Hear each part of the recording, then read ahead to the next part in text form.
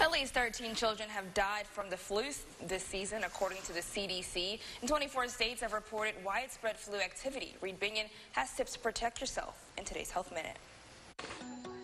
Seasonal flu activity continues to increase in the United States, and the key to fighting the flu is to arm yourself with the best defense you have, your immune system. Experts recommend that everyone six months of age and older get a flu shot. Even though flu season is well underway, it's not too late to get vaccinated. Common areas in your home should also be regularly disinfected. The flu virus can live on surfaces for several hours, so wash those bed sheets, blankets, towels, and your hands.